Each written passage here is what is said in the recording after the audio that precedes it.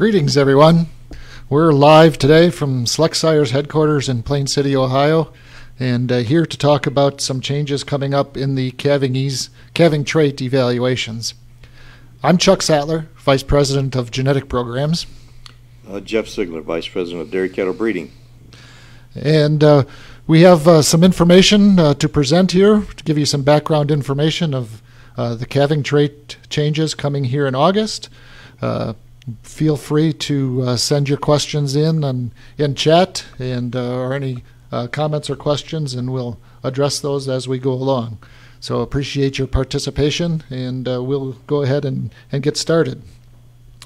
As you all know, a base change occurred in the April evaluations, and uh, quite honestly, those changes exposed some issues with our calving trait evaluations and uh, received a lot of uh, questions and concerns uh, following the release of the April evaluations.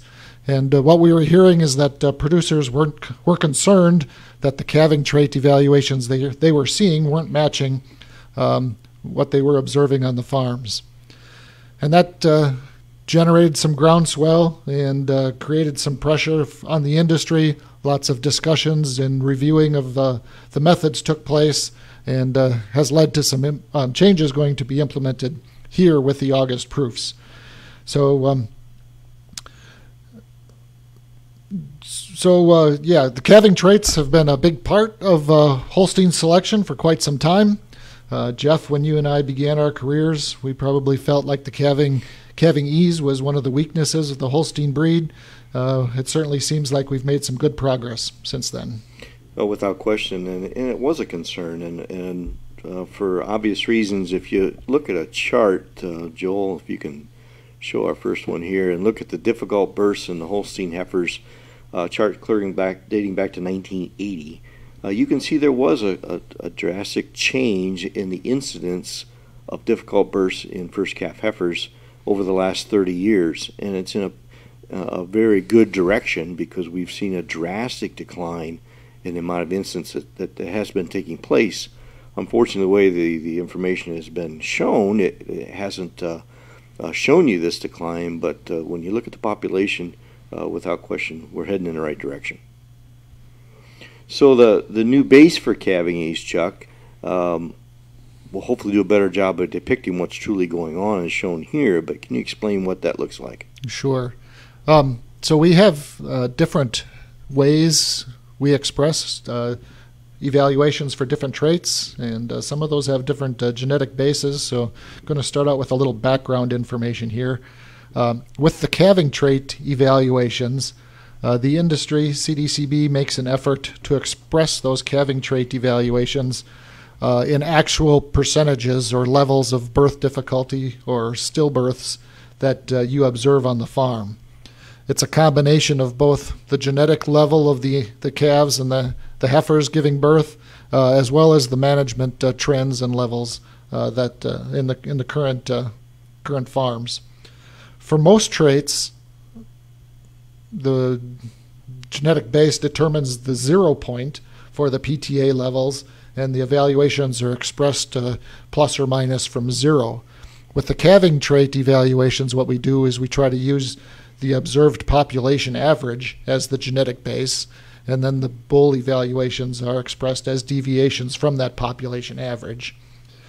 Um, since the early 2000s, uh, the breed average we've been using, or the base we've been using for the calving traits, has been uh, roughly 8% uh, for both, and, and the evaluations deviated up and down from that 8% level and that was never adjusted based on the, the trends we were seeing in the actual population. So as we went through the April base update, the, the calving traits were updated to account for the improvement in genetic trend, um, but the scale wasn't adjusted for the, uh, the environment or the phenotypic changes we were seeing at the farm level. Now, starting in August, uh, we will update the base for the decreasing uh, or the improving management levels on the farms, and uh, that will, and then in future base t- changes, we'll make updates in both the genetic level and the phenotypic level. Um, and this way, the calving traits, the calving trait evaluations that we see published on the bulls, uh, will be much closer to the levels that uh, folks actually see uh, on the farm. One other change being implemented here with the August evaluations is we're making a subtle change in the base for the stillbirth evaluations. They had uh, slightly different different definitions in the past, uh, but going forward, both traits will have the same genetic base. The base for the calving traits will be the observed percent difficult births in first calf heifers, and the base for the stillbirth traits will be the observed percent stillborn calves in first calf heifers. So these base definition changes are going to have a pretty dramatic impact on the level of sire evaluations. Jeff, you want to talk through that? Well, the nice thing about the, the changes that are taking place, it's not going to change necessarily the rank of the bulls. The high bulls will still be high, the low bulls will still be low, but the variation from high to low is drastically going to, going to be changing. And Chuck talked, uh, uh, he talked a lot in terms of calving traits and just uh, define what we mean by that. We are talking about sire calving ease, daughter calving ease, sire stillbirth, and daughter stillbirth. And if you look at this chart, uh, Joel will move to uh, to show the current base uh, for sire calving ease. Chuck talked about it being around 8% and it has been for quite a period of time. Where the new base for sire calving ease is going to be closer to 2, 2 to 2.5. Um, so it is drastically different uh, when you're looking at the actual figures themselves. But again, uh, never underestimate rank is what's most important. Daughter ease also be re reduced from about eight and a half, somewhere to around two and a half. Sire stillbirth uh, and daughter stillbirth will also be reduced to a certain degree, not to the degree uh, of the ease evaluations. Uh, we haven't made as much genetic improvement in those traits, but we're de definitely making uh, changes in the right direction for those as well. So if you look at the distribution on the next chart here, Joel, of what high to low looks like. We're very accustomed to, to bulls today being somewhere between 4 and 13% calving ease from, from high to low. But um, with the August evaluations, it's going to look quite different. Uh, it's going to be closer to somewhere between 1 and 4 is from high to low on our distribution uh, of calving ease. So uh, while that gets the most notoriety of all the calving traits, um, there'll be, there'll be slight variations in each of these traits, but when you're looking at calving specifically, uh, we're looking at a whole lot less variation, and we're looking at bulls, if you go to the next slide, Joel, that really will make the difference um, uh, when you, uh, you, you take into consideration bulls like Jedi and Riveting and Rome that are listed here, that have had uh, calving careers high to low through their calving their their livelihood, but Today, bulls that are a little higher, like they are uh, with the new calving evaluations, are going to be substantially less than that. Um, these are estimates, I should say, because we don't know what the actual August data looks like yet. But uh, they, they will still be on the higher end of that bell shaped curve, but the actual number itself is going to take some adjustment to get used to. So, um, these evaluations are, are, are, more depictive of what's truly going on on farm as you've mentioned Chuck, and that's what's most important. So when you look at the, these base definitions, it's going to affect other national indexes that ease are a part of. Can you explain how that will take place? Yes. So uh, both uh, the net merit dollar formula and the TPI index uh, include the calving traits uh, uh, in the index, and so they will both be impacted by these changes for sure. for net merit dollars, uh, the thought process is is to to keep the economic uh, values for calving birth difficulties and stillborn calves the same. Um, so they're not going to change the, the formula. So the smaller calving trait values will, uh, and that the fact that they have reduced variation um, will mean that uh, the calving traits will actually have smaller influence in the overall net merit ranking of bulls or how the calving traits get used in the net merit dollar formula. Uh, for TPI, uh, the Holstein Association is using this as an opportunity to adjust how they work with the calving traits. Um, they are going to switch some of their emphasis uh, away from birth difficulty, from calving ease, uh, into the stillbirth weighting. So previously, both uh, each trait got 1% of the weighting in the TPI index, and now going forward, the cav- daughter calving ease will get a half of a percent of weighting, uh, and the st- daughter stillbirth will get one and a half percent weighting.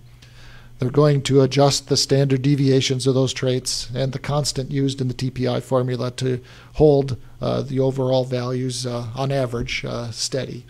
So uh, for net merit, it's going to have smaller influence, uh, kind of as you would expect because it's less of an issue than it used to be. Uh, for TPI, there's going to be a switch to uh, a little more emphasis on stillbirth rates and a little less emphasis on, on dystocia.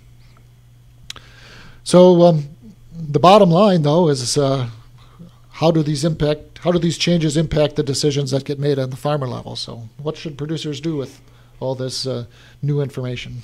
Well, producers are best uh, uh, utilizing any trait, whatever that may be, by utilizing a proper index that fits the herd's objectives and goals.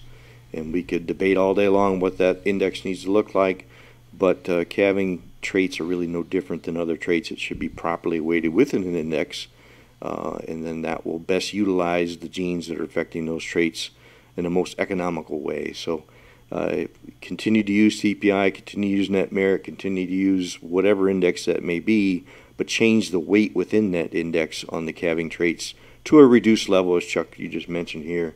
Uh, it's the most uh, proper way to economically place these values uh, into your herd. So overall, it, it's uh, the days of saying, well, a bull needs to be a certain amount to be a calving ease bull.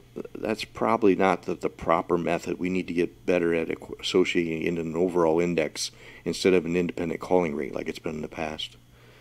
So Chuck, about uh, we've talked a lot about a lot of different th- excuse me, we talked about a lot of different things as far as how to properly use the index, but can you give us a couple bullet points to wrap this thing up to, to shape what this all truly means? Yeah, absolutely. Even though we went through lots of base changes in April, we're going to have a little more of a base adjustment here in August with the calving traits. Uh, the evaluations for the the calving traits in August will be much lower than uh, what you've seen previously and uh, you're going to need to adjust your selection standards for calving traits and uh, really uh, emphasize that uh, trust your index in the use of those calving traits in your overall selection index. So with that, that wraps up the information we plan to present. we appreciate your participation and your attention to this material. And uh, we look forward uh, to seeing the proofs uh, when they're released here in a couple weeks in August.